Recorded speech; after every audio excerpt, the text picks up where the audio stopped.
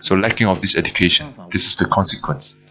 And one very solid example, visual example is food in canteen. So canteen, school canteen, university canteen. All these kids and, and young people when they're in school, see how many people wasted the food given to them. And if you look at modern society, how many people are actually cultivating the virtue of um, patience towards others instead of trying to get one off, one up over another.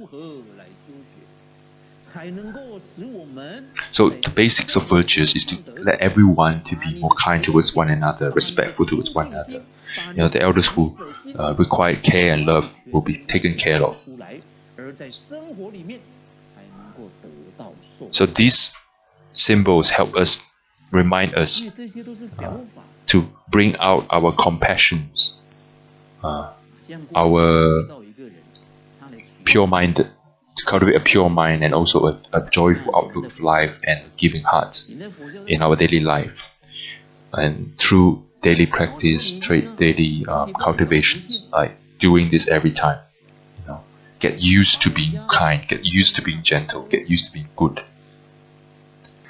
Otherwise, if we do not understand why they have this symbolized way of education, otherwise we will become superstitious. We just do it for the sake of doing it. We don't know why we're doing this. People will say you are superstitious. Or uh, bringing people into a wrong path. You know, they are not productive towards the society. Uh, what offering what flower, water, fruit, uh, because you want to idol worship some statue made of woods or clay or gold. So those are those are just materials. Why are you doing that? Because if we don't understand what it means, it looks like that, isn't it? So now we are learning about understanding Buddhism. One of them is offering incense when we do the uh, offerings. And what is offering incense mean? It brings it means it has meaning has everything has a meaning, and it means we are receiving the Dharma without giving any doubts. Uh, right now, the biggest biggest problem of learning this path of enlightenment. Uh, what is the biggest obstacle for Buddhists? It's not the biggest obstacle is not the greed, hatred, ignorance it's not about uh, attachment to the sense desires and power and fame. Those are not the biggest obstacle actually. The biggest obstacle is your doubt, suspicious tendency to suspicious, suspect easily. For example, you chanting Amitabha, and then the follow following thoughts arise. Or can did he actually mean it? Is it for real? uh, can I truly put reborn in Pure Land? Can I truly be uh, blessed? If you don't even have a basic confidence in the teacher, how can you take in all his teachings? And how do you build up the confidence? So, learning from sages' teaching, uh, Buddhism and Confucius, all that, they all start from confidence into characters of our teacher confidence into cause and effect. Do good will reap good, do bad will reap bad. The iron law. If we use doubt, everything becomes like you cannot stand on anything. Right? Oh, those, those are those are the techniques used by these people to control the masses, or used by these people to uh, scare them from not doing good. So everyone should do bad. Everyone should just fall into that uh, being into one another, their own family.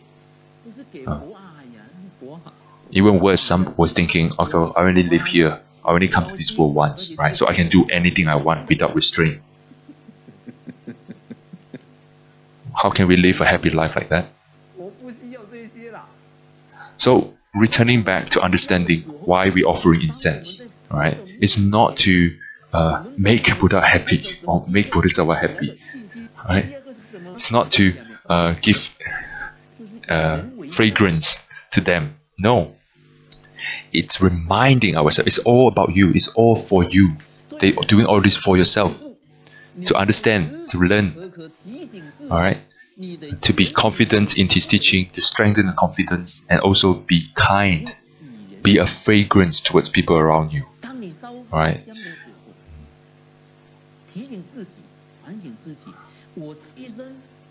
When you light the incense, when you smell the, uh, the aromatic smell of incense, you must remind that everything I speak, everything I do, my character has to be as warm and as fragrance like an incense.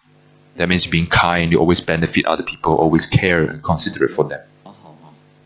Uh, and on the other hand, I do not want to be someone who harm or everything I speak, everything I do is harm, harmful or hurtful to the extent. That's why we light the incense. Uh, so when you light incense, the first thing you should think about is, I must guard my speech, speech, my, my mouth. Uh, prevent it from becoming a sword that harms you. Most of the time, is people close to you. And in the other hand, we need to remind when we smell this fragrance of incense, we must remind ourselves how many kindness you have received when you were born. And Buddhism categorizes into four kindness to repay. First is parents, without saying, without needing to state.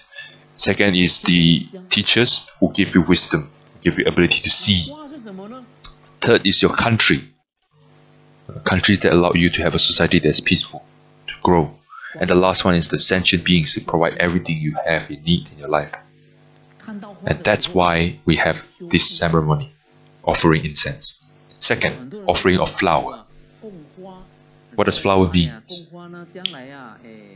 Flower means cause, seeds. When you look at the flower, you think of the cause.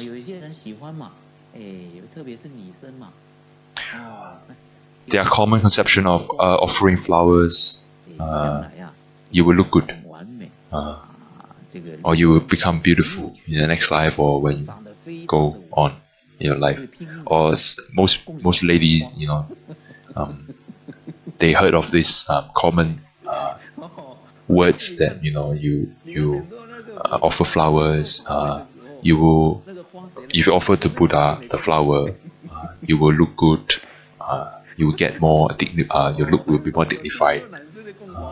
But it's it's not the actual meaning, you know. It's not the ultimate meaning of it.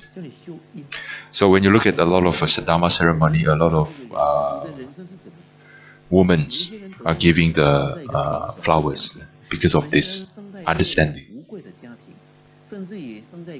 But the actual meaning of offering flower uh, in depth, when you look go deeper, is to cultivate good cause. Why? If you look at uh, the society, there are people born in poor poverty. Some people born to wealth, born to the position of high power, great power. It has all, it has everything to do with the cause they cultivate. Some people fall into the realm of animal, to the realm of hell, or hungry ghosts. It's also because of the cause they cultivate in the past. So, in simpler words, remind yourself of cause means prevent yourself from creating the cause of your sufferings or bad deeds, which is the cause of suffering. Your speech, your action, your thought. So when you remind yourself through the offering of flowers, you remind yourself of your deeds, uh, your attitudes. Uh, has to be as the same as the Buddha that you offer the flower to. My cause must be the same as the Amitabha or any Buddha Bodhisattva offering to. That's the point. To remind ourselves in our living environment environment, everything is also impermanent. Flower is impermanent, isn't it? It, will, it wilted very quickly. So also remind us that everything you live, everything you have, the relationship you have, and all that, it will change as time goes on. This is impermanence of life, one of the facts. And uh, we do not get too attached to, it from this understanding.